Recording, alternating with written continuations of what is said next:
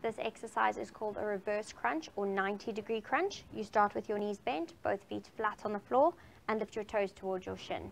You're going to lift the, degree, the legs up to 90 degrees and slowly drop them down to do a heel tap on the floor. As soon as you touch the floor, no rest, and quickly back up.